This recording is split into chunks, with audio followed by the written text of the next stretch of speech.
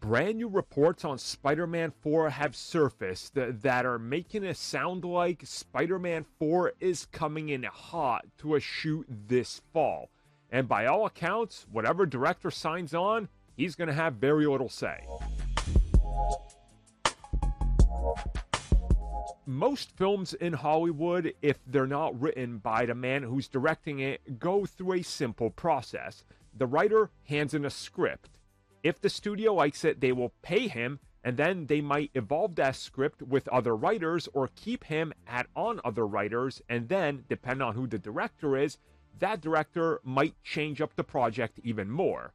Many times, the original intended script is a far cry from what we got. If you want a prime example of this, go look at Alien Resurrection. I don't know why that one's on my mind right now, but look that up. And the original pitch, the original writers, and then what we ended up getting. Completely different films. The reason I had to take like a minute to explain that to you is because, by all accounts, and we're hearing a lot of rumors and a lot of buzz in the industry right now, and that's that Spider Man 4 will start shooting no later than September this year. And that's because they're trying to figure out when exactly in 2025 they want the release date and if they can start in September, they might be able to put the film out for a summer of 25. If they start later, well, winter of 25 to maybe early 26 might be optimal.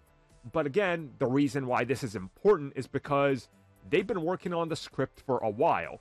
And what we're hearing is that if push comes to shove, whatever director signs on, they're going to have minimal input of their own and they're essentially being hired as a point and shoot man to just finish this project to get it going, and you don't get too much of your own say.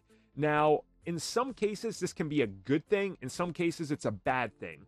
For a project like Spider Man, where you got talented writers that they've already said are working on it and cracking away at it, I can see how, if none of the former directors return or veteran MCU or Spider Man directors, how they might pluck somebody else out of obscurity like they did Jon Watts and go, hey, direct this first one the way we want you to, to a T, add in a little bit of your own style, but don't deviate too much.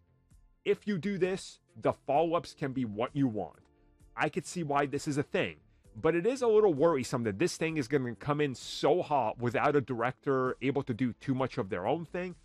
But as I said, this is a known commodity and what they want to do, and some director is going to take it just by the sheer fact that they want their name out there, just like Jon Watts. So we'll see what happens. We'll keep an eye on it, obviously, but I'm not too worried about this just yet.